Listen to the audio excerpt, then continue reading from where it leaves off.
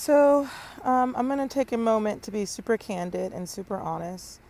After Paris um, final, which is great, you know, for everyone on this planet, with the exception of me, I don't do what everyone else does.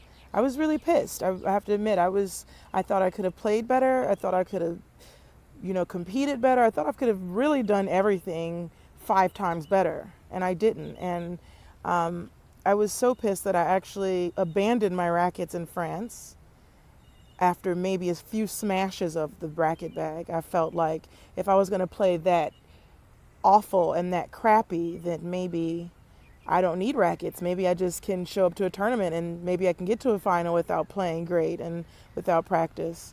But obviously that doesn't work, and sometimes you have to work extra hard. So I'm out here by myself because sometimes by yourself is when the great things really happen.